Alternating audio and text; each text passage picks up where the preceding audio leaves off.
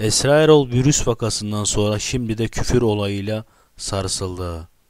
Kadrajdan çıktıktan sonra ağzını bozdu.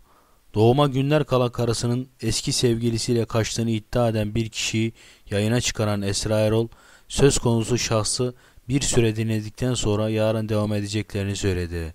Bu sırada bir hışımla yerinden kalkan ve kulise doğru giden şahıs kadrajdan çıktıktan sonra siktirin gidin diyerek küfür etti.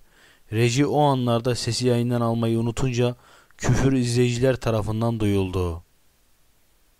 Lütfen size görüşlerinizi yorum kısmında belirtmeyi unutmayın. Kanala abone olursanız şimdiden teşekkürler.